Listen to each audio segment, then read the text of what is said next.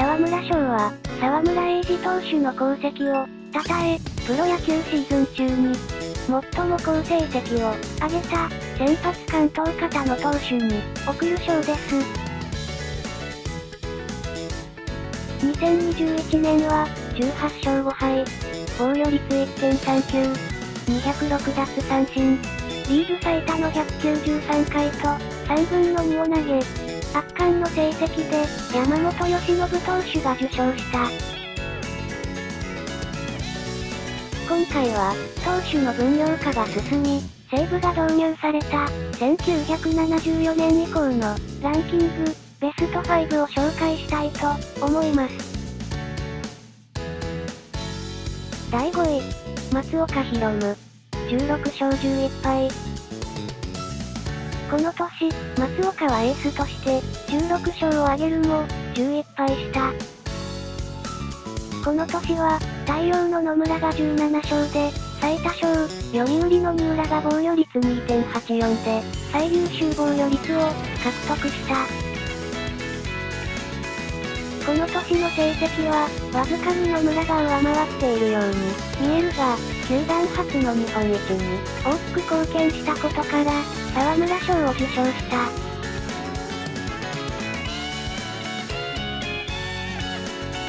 第4位、西本隆史18勝12敗。この年、18勝を挙げ、巨人の日本一に貢献し、自身初の沢村賞を受賞した。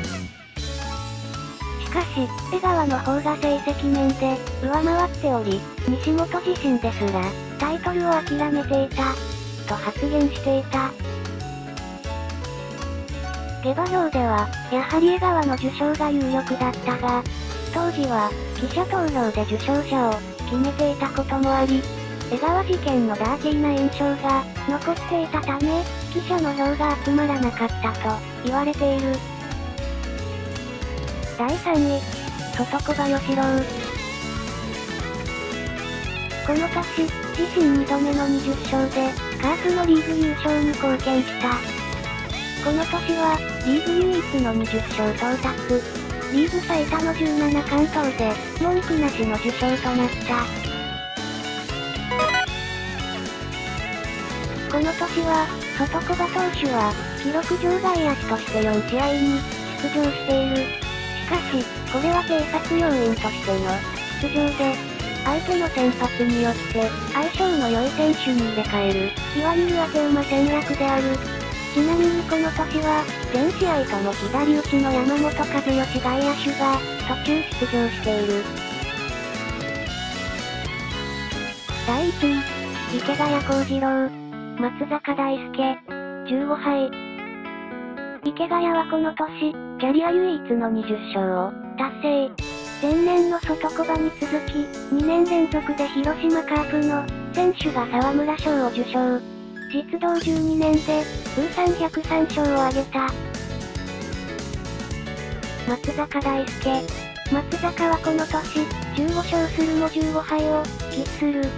しかし、年間を通してエースとして投げ続け、最多勝、最多奪三振のタイトルを獲得した。この年の他の候補者を見てみると、セリーグの最優秀防御率を獲得した野口。リーグトップの13冠投を挙げた黒田。パリーグの最優秀防御率を獲得したミンティ。セリーグ最多勝の藤井。並みいる、エースピッチャーを抑え、松坂大輔は、キャリア唯一の沢村賞を獲得した。いかがでしたでしょうか？今回は、沢村賞受賞者のうち、負け数が多い選手をご紹介しました。どの投手も、不運にも負け数が多くなっているものの、チームを支えるエースとして、君臨していました。では、今回の動画は以上となります。